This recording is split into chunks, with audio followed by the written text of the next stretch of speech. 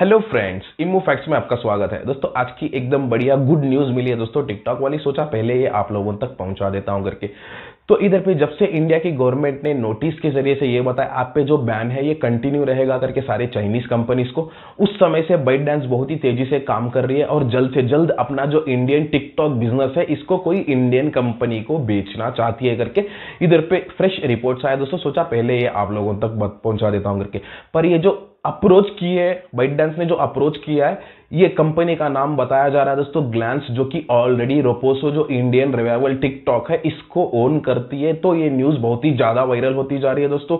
अब इधर पे ये कहा जा रहा है कि इन्होंने अप्रोच किया है और ग्लैंस ने भी इसको रेस्पॉन्ड किया है करके कहा जा रहा है दोस्तों। अब एक बार ये सेल कंप्लीट हो गया तो लगता है दोस्तों, लगभग टिकटॉक इंडिया में वापस आ जाएगा, जो कि बहुत ही अच्छी न्यूज़ है दोस्तों। इसमें ढेर सारे डिटेल मिले दोस्तों, सोचा मैं पॉइंट टू पॉइंट आपको एक्सप्लेन कर देता हूँ। मैं छह डिफरेंट पॉइंट्स इस न्यूज़ में लेके आया दोस्तों, जो बहुत ही ज़्यादा इंपॉर्टेंट है, जिसकी नॉलेज आपको बहुत ही ज़्यादा ज़रूरी है, ये छह पॉइंट्स मैं आज आपको एक्सप्लेन करूँगा दोस्तों। जो बाकी की न्यूज़ है ज़्यादा उतनी इंपॉर्टेंट नहीं दोस्तों, पर आपकी नॉलेज के लिए जो बहुत ही ज़्यादा ज़रूरी है, ये छह पॉइंट्स आपको मैं डिटेली एक्सप्लेन करने वाला हूँ दोस्तों। तो चलो फ्रेंड्स चलते हैं अब इसके सारे डिटेल्स पे। दोस्तों, इसके डिटेल पे जाने से पहले मेरे जो भी फेसबुक पेज के व्यूअर्स हैं और जो मेरे इंस्टाग्राम के व्यूअर्स हैं, इनसे एक छोटी रिक्वेस्ट है। आप जो इसमें इंस्टाग्राम में और फेसबुक में मेरी वीडियोस देखते हो, इनसे रिक्वेस्ट है कि आप मेरे यूट्यूब चैनल को सब्सक्राइब कर ले, क्योंकि मेरे यूट्यूब चैनल पे पहले मैं ये वीडियो डालता हूँ, फिर आठ से दस घंटे के फासले में जो मेरा इंस्टाग्राम पेज है और जो मेरा फेसबुक पेज है, इस पर मैं मेरे वीडियोस डालता हूँ तो बहुत ही देर हो जाएगी आपको न्यूज़ मिलने में तो बेहतर है आप यूट्यूब पे देख सकते हो मेरे वीडियोस पहले। तो मैं, क्योंकि फास्ट अपडेट यूट्यूब पे करता हूँ तो ये मेरी छोटी रिक्वेस्ट है हमारे सारे फैमिली मेंबर्स के लिए। तो चलो फ्रेंड्स अब बात करते हैं छह पॉइंट्स पे। तो पहले बात करेंगे दोस्तों, जब से इंडिया की गवर्नमेंट ने नोटिस भेजा है सारे चाइनीज़ एप्स को कि आप पे जो बैन है, ये कंटिन्यू रहेगा, क्योंकि आप लोगों ने जो जवाब हम लोगों को दिए, हम लोग इससे खुश नहीं है तो आप पे जो बैन है, ये हम लोग कंटिन्यू रखेंगे करके। इधर पे कहा गया था तो इसके बाद समझो दोस्तों कोई कंपनी आगे नहीं आई, किसी ने अभी तक उनकी पर्टिकुलर जो ओपिनियन है, ये बताया नहीं। पर बाइट डेंस जो है दोस्तों, जो टिकटॉक और हेलो की पेरेंट कंपनी है दोस्तों, इन्होंने बहुत ही तेज़ी से इधर काम करने की कोशिश की है। दोस्तों, इन्होंने क्लियरली अब ये बताया, हम लोग, हमारा जो टिकटॉक इंडिया का बिज़नेस है, ये बहुत ही तेज़ी से सेल करने की कोशिश कर रहे हैं। जितना जल्द हो सकता है, हम लोग सेल करके इसको अनबैन करेंगे करके। इधर पे जो फ्रेश रिपोर्ट्स है दोस्तों, ये कल दोपहर में अपडेट हुए थे। सोचा, ये आपको बता देता हूँ करके। अब इधर पे इन्होंने ये कहा है दोस्तों, हम लोगों ने कई सारे कंपनीज़ को अप्रोच किया, पर नाम से एक पर्टिकुलर कंपनी बताया दोस्तों, जिसका नाम है ग्लैंस जो कि ऑलरेडी रोपोसो की पेरेंट कंपनी है और ग्लैंस की पेरेंट कंपनी होती है दोस्तों इन मोबी करके इधर पे कहा जा रहा है दोस्तों जो कि एकदम बढ़िया सॉफ्टवेयर कंपनी है और सब में बेहतर कंपनी रहेगी टिकटॉक को खरीद के चलाने में करके इधर पे कहा जा रहा है वो इसलिए क्योंकि ऑलरेडी इनके पास एक टिकटॉक का रिवाइवल ऐप है रोपोसो करके इधर पे कहा गया दोस्तों, जो कि बहुत ही अच्छी न्यूज़ है। जो कंपनी ऑलरेडी एक ऐप को चला रही है, दूसरे सिमिलर ऐप को बहुत ही आसानी से चला सकती है, जो कि एकदम नामदार पूरे वर्ल्ड का नामदार ऐप है, इसको भी चला सकती है, आसानी से खरीद भी सकती है करके। इधर पे रिपोर्ट आया दोस्तों, सोचा ये आपको बता देता हूँ करके। तो ये था दोस्तों पहला पॉइंट दूसरा बात करेंगे दोस्तों ये सेल का अप्रोच किससे भेजा गया था करके पूछा? तो इधर पे बताया गया दोस्तों, जो कि सॉफ्ट बैंक, एक जापान की मल्टीनेशनल बहुत ही नामदार कंपनी है दोस्तों, पूरे वर्ल्ड में इनके शेयर है, ये इतनी बड़ी कंपनी है। और टिकटॉक में भी इनके ढेर सारे शेयर है बाइट डांस में ये भी एक इन्वेस्टर है। तो ये कंपनी आगे आई है आज से नहीं दोस्तों, पिछले छह महीने से हर कोई इंडियन बिज़नेस की बात करता है तो सॉफ्ट सॉफ्ट बैंक जो है दोस्तों, यही कंपनी इसकी डिटेल आपको देती है, क्योंकि ये जो भी अब समझो दोस्तों, जब से यूएस में प्रॉब्लम हुआ है, जो कि जैंग गेमिंग है टिकटॉक के सीईओ ये उधर पे बिज़ी हो गए तो जो भी इंडियन बिज़नेस का मामला है दोस्तों, ये सॉफ्ट बैंक के ज़रिए से हैंडल किया जा रहा है उस समय से लेके आज तक। तो आज भी ये जो अप्रोच भेजा गया है ग्लैंस की कंपनी को, ये सॉफ्ट बैंक ने भेजा है दोस्तों।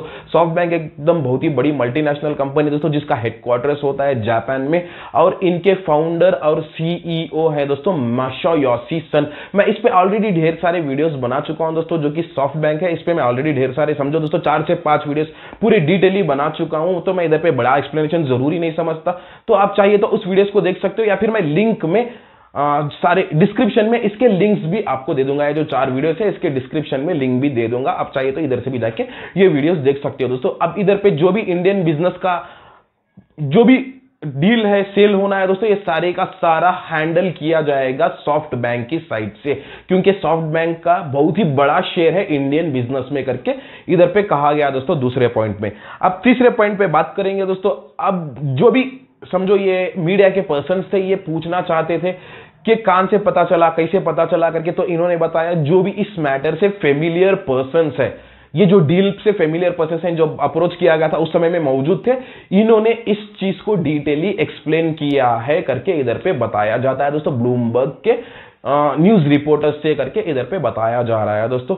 और जब इनसे नाम पूछा था, नाम आपका बताओ तो इन्होंने बताया, हम लोग नाम नहीं बता सकते क्योंकि ये प्राइवेट है पब्लिकली हम लोग नाम नहीं बता सकते क्योंकि इस को नेशनल सिक्योरिटी रिस्क माना जाता है तो हम लोग इसको मेंशन क्लियरली नहीं कर सकते करके इधर पे कहा गया दोस्तों।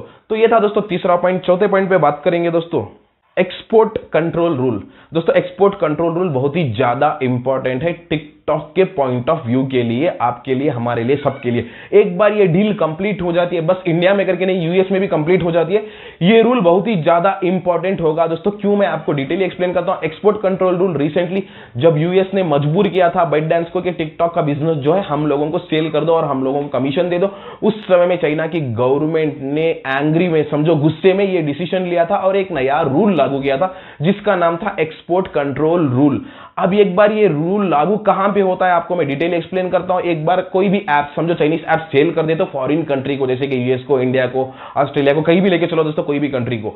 एक बार मैं सेल कर देता हूँ फॉरिन कंट्री को तो मेरे लिए पहले एक बार जैसे सेल कंप्लीट सेल की बातचीत कंप्लीट हो जाती है तो फर्दर मूव करने के लिए एक्सपोर्ट कंट्रोल रूल मायने रखता है दोस्तों। उस समय में आपको चाइना की गवर्नमेंट से अप्रूवल परमिशन लाइसेंसिंग ये तीनों का लेना ज़रूरी होगा, नहीं तो आप अपना जो ऐप है, कोई भी फॉरिन कंट्री को सेल नहीं कर पाओगे करके इधर पे क्लियरली मेंशन किया गया। दोस्तों इस पे मैं ऑलरेडी ढेर सारे वीडियोस बना चुका हूँ। आप चाहे तो मेरे प्रीवियस वीडियोस पे भी देख सकते हैं। इस पे बहुत ही लंबा एक्सप्लेनेशन मैं दिया हूँ। जो भी डिटेल है, पूरा डिटेली एक्सप्लेन भी किया हूँ। आप चाहे तो मैं इसके लिंक्स भी मेरे डिस्क्रिप्शन में देता हूँ। आप इधर से भी चाहिए तो ये चीज़ देख सकते हो।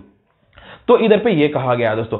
अब इधर पे एक और चीज़, सब में बड़ी चीज़ ये है दोस्तों, बस एक साइड से नहीं, दोनों साइड से अप्रूवल चाहिए। अब इंडिया है दोस्तों इंडिया एकदम फ्रीडम कंट्री है। तो इधर कोई भी आ सकता है, कोई भी जा सकता है पे। पर अब जो टिकटॉक की बात चल रही है, इसके लिए इंडिया का भी परमिशन बहुत ही ज़्यादा ज़रूरी है टिकटॉक की डील कंप्लीट होने के लिए करके। इधर पे कहा जा रहा है दोस्तों, क्योंकि ये एक नेशनल सिक्योरिटी थ्रेट है और बॉर्डर पे जो प्रॉब्लम चल रहा है, इस चीज़ को लेके बहुत ही ज़्यादा ज़रूरी है। अब दोनों साइड से परमिशन परमिशन तो इंडिया की गवर्नमेंट से, बस परमिशन चाहिए होगा, पर चाइना की गवर्नमेंट से इनको परमिशन लाइसेंसिंग सब करवाना होगा, तभी ये डील कंप्लीट होगी करके। इधर पे कहा जा रहा है दोस्तों जो कि एक्सपोर्ट कंट्रोल रूल करके कहा जाता है। तो, तो ये था दोस्तों चौथा पॉइंट पांचवा पॉइंट अब बात करेंगे दोस्तों।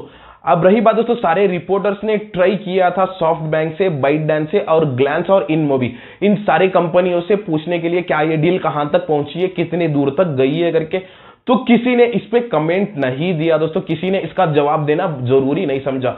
पर एक पर्टिकुलर बंदा इस पे जवाब दिया था, कहा था कि हम लोगों को इसका परमिशन नहीं है। जो भी डील चल रही है, ये प्राइवेट है, हम लोग पब्लिकली बता नहीं सकते, क्योंकि लास्ट टाइम हम लोगों ने एयरटेल को रिलायंस इंडस्ट्री को और ढेर सारे कंपनीज़ को अप्रोच किया था। जब हम लोगों ने इसको बताना चालू किया तो आगे की कंपनी ने इसको खरीदना बंद कर दिया था। तो हम लोग इसका जवाब किसी को दे नहीं सकते। ये टोटली एक प्राइवेट बात है पब्लिकली बताने का परमिशन नहीं है, क्योंकि हम लोग इस सेल को रिस्क में डालना नहीं चाहते।